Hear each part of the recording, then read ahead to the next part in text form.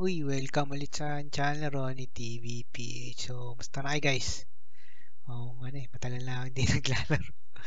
Uh, parang once a, once a week na lang yata ako naglalaro ng games eh. Kasi masyadong busy. Um, paano ba masabi? More on ano ko eh, parang nanood ako sa Netflix. May pinapanood akong ano eh, uh, series, yung ano, tagal na yata yun eh, Suits puro TikTok yung ah, nod-nod lang sa TikTok ganyan. Um, and more on nod ng mga mga ano mga iba pa sa YouTube yan. So um, bira lang ako masyadong lalaro um eto nakita ko lang to last June 2 na uh, bigla na ano to automatic na nag-download sa cellphone ko So, gulat ako eh.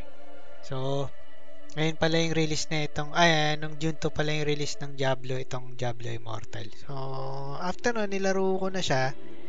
And actually, matagal, ano na eh, mga ilang days ko na ba? Mga, ano na? 3 days? 3 days na ako naglalaro. Um, level, ano pa lang ako, 35, ah, 37, kaya level 37 ko lang uh, medyo ang masasabi ko lang medyo ano siya medyo more on parang automatic. Um di ko na di ko inaasahan na ano kasi di ba yung mga una mga Diablo is talaga click click click click, click ka ganun. So dito more on ano talaga. Um, tap tap ka lang lalo na pag ano mag-auto pat yung auto find yung yung yung ano mo yung mga quest. Um sa ngayon ano na ako eh level 37 na yan yung character ko is ano necromancer. So necromancer is nakita nyo yan may mga meron akong tatlong alalay dito. Mga skeleton to. Pag le-level up ako, le-level up din to mga to. Um, yun yung mga pinangpapain ko para, sorry, para hindi ako ma unahin ng mga ano, mga kalaban. So, sila yung una akong pinang-front tapos yun, sabay birabirahin kasi yung ano, yung kalaban. Um, dito ako sa town ngayon ng ano bang town to? Uh, Rogue Battle Camp So, buhayin muna natin yung waypoint yata dito. Parang hindi ko pa yata nabubuhay yung waypoint eh. Ay, hindi. Nabuhay ko na pala. So, ito kasi maba explanation eh. Um, ito yung inventory ko. Ayan, mga, mga gamit ko. So, makikita niyo yung character ko. Ano siya eh, yung para may costume. Ito, cosmetics. So itong cosmetics na to, nakakuha ko to sa ano? Nakakuha ko to sa may one natagtag dito, yung pre-registration bigay bite ni ano eh, ni ni Diablo eh, ni ano Blizzard, Blizzard, Blizzard, Blizzard ako pa nito.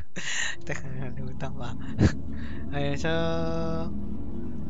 mabait naman yung ano, nagbigay sila ng cosmetic eh. Na, ano, so, ano yata to, permanent yung skin ito eh. Di ba, nakakatawa. Um, uh, mga equipment ko, mga bano pa rin, pero uh, mukhang, mukhang malakas naman.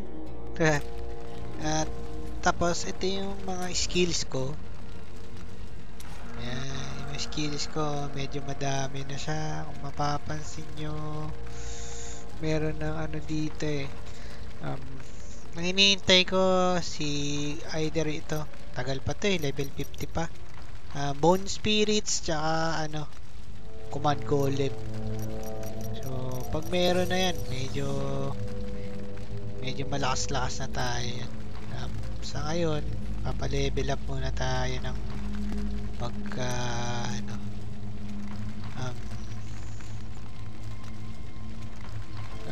okay so ngayon babalik tayo sa may ano Ah, paano kaya bumalik doon? Na, hindi ko alam eh. Kailangan natin pumunta sa... Hindi dyan. Dito tayo sa ano, West March. Kasi nandito yung ano, bounty, ano. Ito. Dito yung ano eh, parang bulletin board ng mga bounties. So, yung mga bounties, yun yung ano, uh, i-accept mo yung mga quest, magbibigay sa'yo ng mga XP tsaka mga reward items. Eh, medyo naglalag ako dito kasi ano eh, daming tao dito. Sana ba yun? Yun yun, di pala, dito pala yun. Oh, di ba? Grabe kung mag-lag to eh. Mali.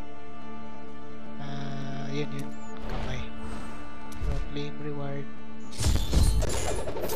Diba, makita nyo naman, dami, di ba? Ayun. So, nagaano talaga yung kwan, yung tawag dito. Nagahang talaga siya. Um, um, kailangan talaga ng capture card para malaro ko siya sa ano, sa ano, sa dito sa PC. So, yun, sana na-enjoy nyo and yun, tutuloy natin yung game pag nabili na ako ng pang-capture card. So, sana nagustuhan nyo. Maraming salamat.